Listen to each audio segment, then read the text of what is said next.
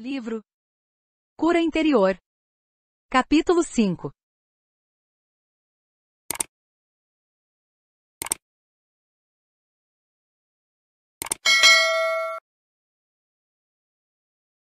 Antes da oração.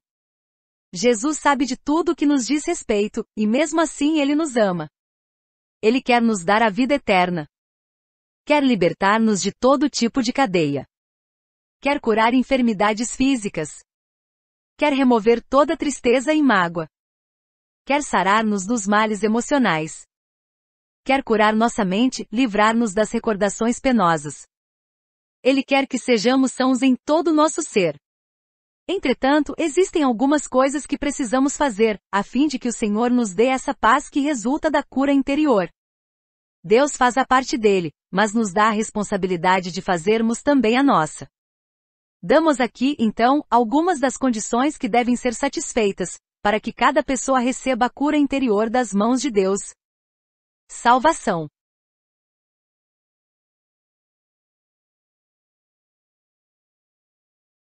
1 João capítulo 1 versículo 9. Se confessarmos os nossos pecados, ele é fiel e justo para nos perdoar os pecados e nos purificar de toda injustiça.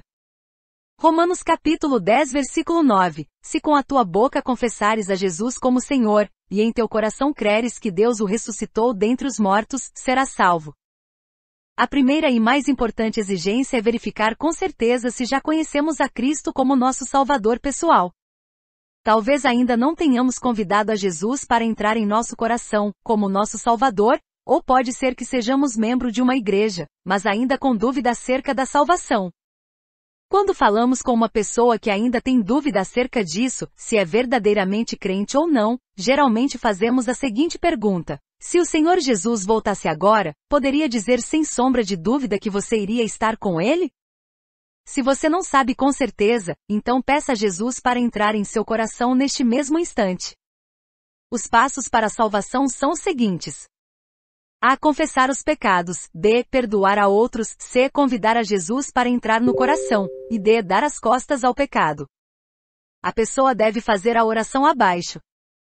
Mesmo que já a tenha feito antes, deve fazê-la mais uma vez sabendo que se ela realmente se arrepender, ele é fiel e justo para perdoar seus pecados e salvá-la. Oração para a salvação. Senhor Jesus, sei que sou pecador e que já pequei. Confesso a ti meus pecados. Peço-te perdão pelos meus pecados, por todos os pecados de que me lembro e por todos os que já esqueci. Também perdoo aqueles que pecaram contra mim. Senhor Jesus, entra em meu coração como meu Salvador. Entrego minha vida a ti. Agora tu és o Senhor de meu coração e de minha vida. Entrego-me a ti totalmente e completamente.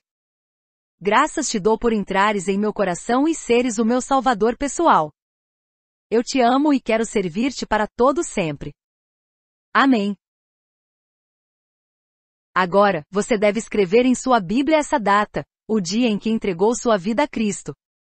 Assim, quando Satanás o atacar com dúvidas, você poderá dizer: Satanás, você é mentiroso e enganador, pois, nessa data que está escrita em minha Bíblia, pedi a Deus perdão de meus pecados, e convidei Jesus a entrar em meu coração, e hoje se acha aqui como Senhor de minha vida. Renunciar ao ocultismo e a outros cultos. Levíticos capítulo 19 versículo 31. Não vos voltareis para os necromantes, nem para os adivinhos, não os procurareis para ser descontaminados por eles. Eu sou o Senhor vosso Deus. Deuteronômio capítulo 18 versículo 10 e 11. Não se achará entre ti quem faça passar pelo fogo seu filho, ou a sua filha, nem adivinhador, nem prognosticador, nem agoureiro, nem feiticeiro, nem encantador, nem necromante, nem mágico, nem quem consulte os mortos. Quem já se envolveu com o ocultismo, ou seriamente ou por brincadeira, terá que renunciar a essas coisas. Muitas pessoas procuram encontrar a paz e a satisfação em outras fontes que não o nosso Deus. Essa ação é abominação para o Senhor. Há certas informações que só podemos obter de duas fontes, de Deus ou de Satanás. Deus só nos conduz em direção à verdade e ao esclarecimento, mas qualquer informação recebida de outra fonte que não seja o Senhor, só pode levar-nos à destruição. As coisas do oculto são reencarnação, astrologia, horóscopos, percepção extrasensorial, sessões, tábuas de adivinhação, cartas, leitura da sorte, feitiçarias, pêndulo, psicografia, leitura de mãos, etc. Os outros cultos são meditação transcendental, religiões orientais e outras seitas falsas. Se alguém possuir livros ou artigos que defendam o ocultismo ou esses outros cultos, deve destruí-los. Peça ao Senhor para revelar-lhe isso, para fazê-lo lembrar-se de coisas assim que talvez tenha, e que devem ser destruídas. Quem já teve algum envolvimento com esses cultos ou com o ocultismo, deve fazer a oração seguinte, pedindo perdão a Deus e renunciando a Satanás. Satanás, eu renuncio a você. Renuncio ao ocultismo e aos outros cultos falsos. Renuncio a qualquer grupo, a qualquer prática que não seja para glorificar a Jesus. Peço-te perdão, Senhor Jesus, por haver me envolvido com essas coisas. Graças te dou pelo teu perdão, pela purificação, e por me livrares do ocultismo. É em teu nome que peço essas bênçãos. Amém.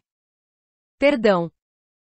Mateus capítulo 6 versículo 14 e 15. Porque se perdoardes ao nove homens as suas ofensas, também vosso Pai Celestial vos perdoará se porém, não perdoardes aos homens, tampouco vosso Pai vos perdoará as vossas ofensas.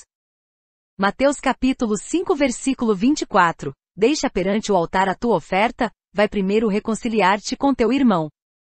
Se não estivermos dispostos a perdoar aqueles que nos ofenderam, não poderemos receber completa cura interior.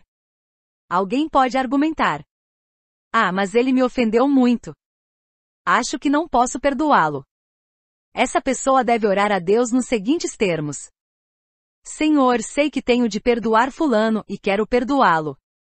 Mas por mim mesmo não consigo. Ajuda-me a perdoá-lo. Entregue a Cristo sua vontade, e deixe que Ele próprio perdoe aquela pessoa por você. Faça uma decisão consciente. Sim, perdoarei a todos os que me ofenderam de alguma forma. Use de autoridade para com o espírito de rancor que Satanás enviou a você, e peça a Jesus para encher seu coração de amor e perdão. Esse perdão deve ser incondicional. Não podemos dizer, eu o perdoarei se parar de beber ou de jogar. Ou então, eu a perdoarei se ela pedir perdão primeiro. Temos que perdoar incondicionalmente. Sei que às vezes é muito fácil para um pastor ou conselheiro dizer a uma pessoa: você deve perdoar seus ofensores. Mas outra coisa é aquela pessoa que foi tão maltratada poder dizer: Eu perdoo. Tenho feito aconselhamento com muitas pessoas e às vezes fico horrorizada com os pecados que se cometem contra elas. Até me pergunto como tais pessoas conseguiram continuar vivendo normalmente depois do que sofreram. Lembro-me de ter conversado com uma jovem criada num lar cheio de pecado, depravação e lascívia. Ela fora várias vezes violentada por outra pessoa da família, e isso com o conhecimento de sua mãe. Mãe. Não admira que ela tenha dito. Não consigo perdoar minha mãe por isso, e nem a essa pessoa. E quando um conselheiro se depara com uma pessoa que sofreu uma ofensa tão grave que não consegue perdoar, temos que continuar amando-a, temos que ter fé por ela também, e assegurar-lhe que virá o dia em que aquelas mágoas profundas serão curadas, e o amor e a luz de Cristo expulsarão completamente de sua vida as trevas de Satanás.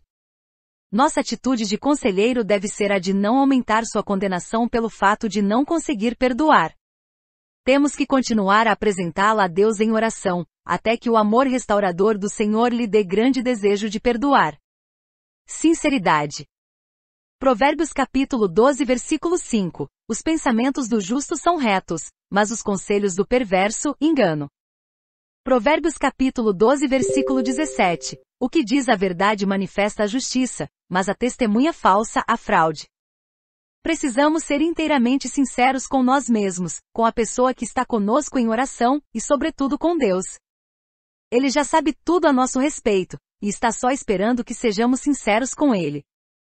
Em seu livro Pigs in the Parlor, Porcos na Sala Frank e Ida May Ramon escrevem o seguinte, a falta de total sinceridade mantém em trevas certas áreas de nossa vida.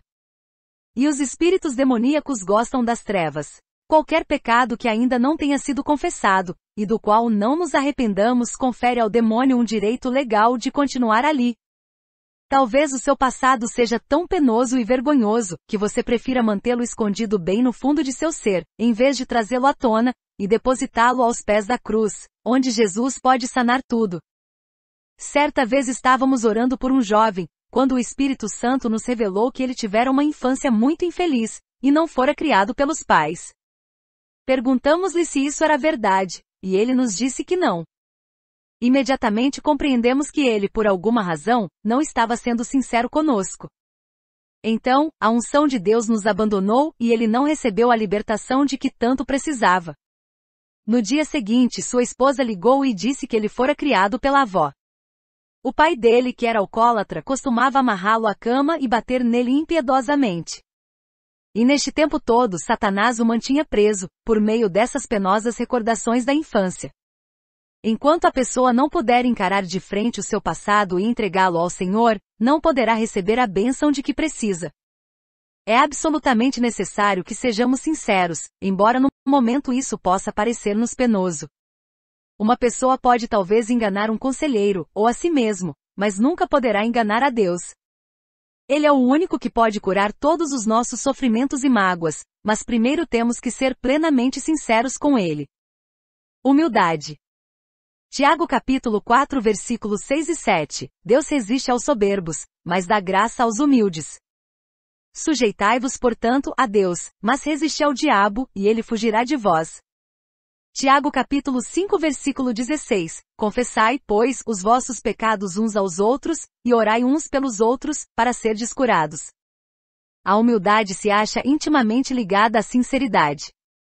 Temos que buscar a Deus com humildade. A principal razão por que muitas pessoas não buscam auxílio espiritual é que são orgulhosas. Não querem que os outros saibam de sua vida passada. Não querem que os outros percebam que elas se acham espiritualmente presas devido a certas lembranças dolorosas, que elas estão passando por um sofrimento terrível bem no fundo de sua alma.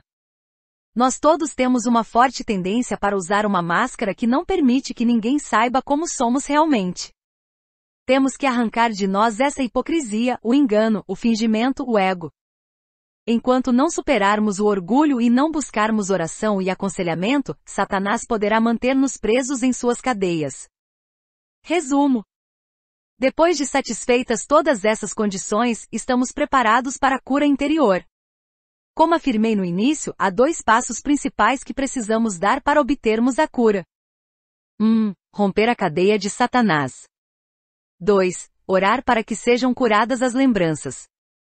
No capítulo seguinte, é disporá como podemos amarrar Satanás em nome de Jesus e renunciar a todas as forças negativas do inimigo, para reivindicarmos a nossa herança. Depois então, estaremos prontos para passar a cura das recordações. Uma palavra de advertência. Se você sente que está precisando conversar com um conselheiro espiritual para que ore por você, escolha essa pessoa com muito cuidado e sob a direção do Espírito. Alguns conselheiros transmitem mais condenação do que amor, e as pessoas ficam emocionalmente marcadas. Lembre-se de que os conhecemos pelos seus frutos. Procure uma pessoa que seja cheia do Espírito Santo, do amor de Deus e de compaixão.